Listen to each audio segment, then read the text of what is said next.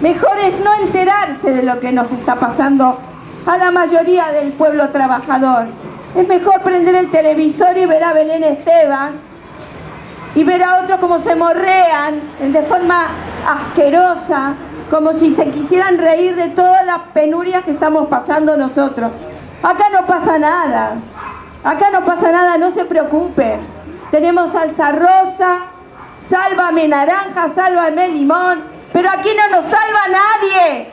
Aquí los únicos que nos salvamos somos el pueblo trabajador. Que sálvame, ni sálvame limón, ni sálvame naranja. Acá es el pueblo el que salva al pueblo.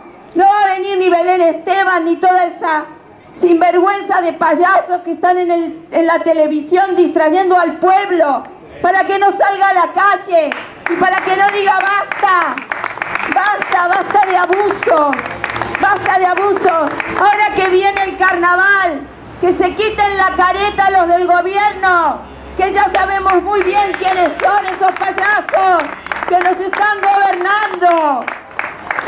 Basta de payasos, basta de impostores, basta de sinvergüenzas. Es el pueblo el que salva al pueblo.